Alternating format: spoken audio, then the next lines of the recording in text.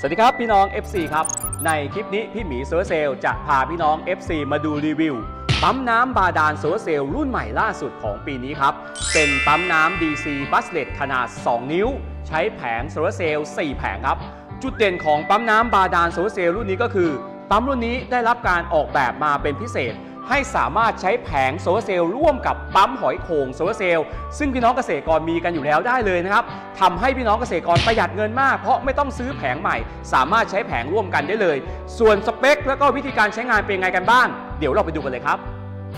เหมือนเดิมนะครับก่อนที่เราจะไปดูคลิปนี้กันนะครับ ทุกๆคนก็อย่าลืมเข้าไปช่วยกันกดไลค์ตรงนี้นะครับ กดให้เยอะๆเลยนะครับ แล้วก็กดแชร์รวมทั้งกดติดตาม แล้วก็กดกระดิ่งแจ้งเตือนนะครับ เพื่อจะได้ไม่พลาดชมคลิปตอนใหม่ๆก่อนใครครับ ครับพี่น้อง FC ครับ สเปคของปั๊มน้ำบาดาลโซลาร์เซลล์รุ่นใหม่ล่าสุดมีดังต่อไปนี้นะครับ ตัวมอเตอร์นะครับเป็นแบบ DC b u s l e t ขนาด 1,300 วัตต์ครับไหลของน้ำนะครับ ปั๊มรุ่นนี้ให้ปริมาณการไหลของน้ำอยู่ที่ 7,000 ลิตร ต่อชั่วโมงครับ มาพร้อมกับกล่อง control อัจฉริยะตัวนี้นะครับกล่อง control อัจฉริยะตัวนี้นะครับจะมีระบบตัดน้ำเองอัตโนมัติ ในกรณีที่น้ำบาดาลในบ่อนั้นแห้งหรือว่าขาด ก็จะเหมาะกับพี่น้องเกษตรกรในช่วงของหน้าแล้ง มีนาเมษาพฤษภาตอนนั้น น้ำบาดาลในบ่อค่อนข้างน้อย ตัวนี้นะครับก็จะมีระบบตัดน้ำเองอัตโนมัตินะครับ หรือถ้าหากว่าแดดอ่อนเกินไปพลังงานไม่พอนะครับ ตัวเขาเองก็จะมีระบบตัดไฟเช่นเดียวกันนะครับ ในส่วนของตัวใบพัดของปั๊มบาดาลโซลาร์เซลล์รุ่นนี้นะครับเจ๋งมากเลยครับ เป็นใบพัดแบบสแตนเลสสบาทรายก็จะเหมาะกับบ่อบาดาลที่เพิ่งเจาะใหม่ๆครับ พี่น้องเกษตรกรครับการที่เราเพิ่งเจาะบ่อบาดาลใหม่ๆเนี่ยมันก็จะมีกรวดมีหินมีดินมีทรายปนเข้ามาในน้ำบาดาลนะครับ ก็ไม่เป็นไรนะครับ เพราะว่าใบพัดมันเป็นแบบสแตนเลสมันก็จะสามารถทนการกัดกร่อนของตัวพวกกรวดหินดินทรายได้นั่นเองครับและนี่ก็คือจุดเด่นของปั๊มบาดาลโซลาร์เซลล์รุ่นนี้ครับ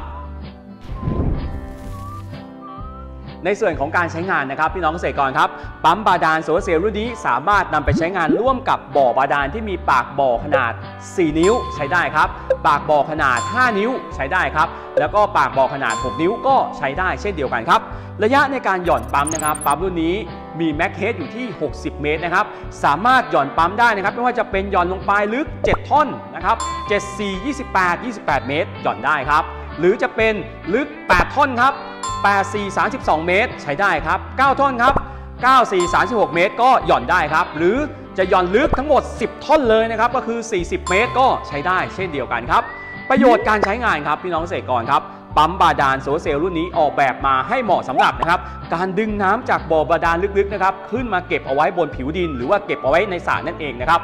ดังนั้นนะครับเราก็นะครับนำปั๊มรุ่นนี้นะครับดึงน้ำขึ้นมาแล้วก็เติมน้ำเอาไว้ในสระสำรองน้ำเอาไว้ใช้ในช่วงหน้าแล้งนะครับหรือจะดึงน้ำขึ้นมาแล้วไปเก็บขึ้นแท้งปั๊มรุ่นนี้ก็สามารถใช้งานได้ เช่นเดียวกันครับเอาเลยครับพี่น้องเกษตรกรครับนี่ก็คือสเปคของปั๊มน้ำบาดาลโซลาร์เซลล์รุ่นนี้ครับเดี๋ยวพี่หมีนะครับจะพาไปดูเคล็ดลับนะครับเทคนิค วิธีการต่อปั๊มบาดาลโซลาร์เซลล์รุ่นนี้นะครับ โดยการใช้งานร่วมกับแผงโซลาร์เซลล์เก่าของปั๊มหอยโข่งโซลาร์เซลล์ว่ามีเทคนิคในการต่อยังไง เราไปดูเทคนิคการต่อปั๊มกันเลยครับ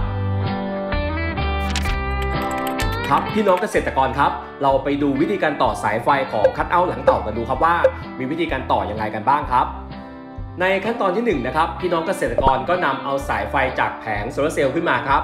นำไปเสียบเข้าที่รูของคัตเอาท์หลังเต่าตรงกลางคัตเอาท์เลยนะครับ โดยนำเอาสายไฟขั้วบวกนะครับ แล้วก็นำเอาสายไฟขั้วลบของแผงโซลาร์เซลล์นะครับ ใส่เข้าไปในรูของคัตเอาท์หลังเต่าตรงกลางตามภาพครับ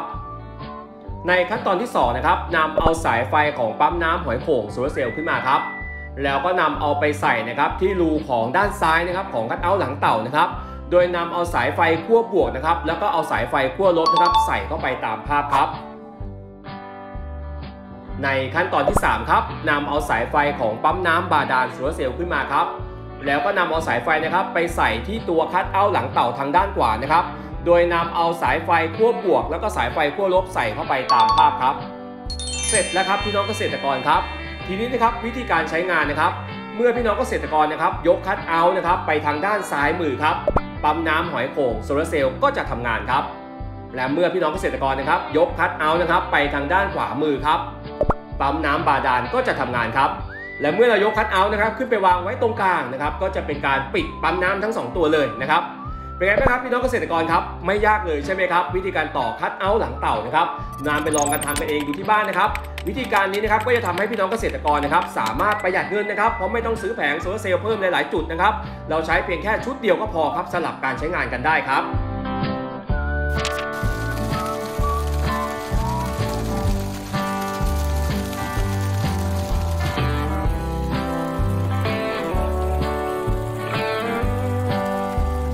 พี่น้อง FC ครับ ทางเดียวที่จะถึงเส้นชัยได้ ก็คือการก้าวต่อไปข้างหน้าครับ พี่หมีโซลาร์เซลขอเป็นกำลังใจให้พี่น้องเราทุกๆคนนะครับ แล้วพบกันใหม่คลิปหน้าครับ สวัสดีครับ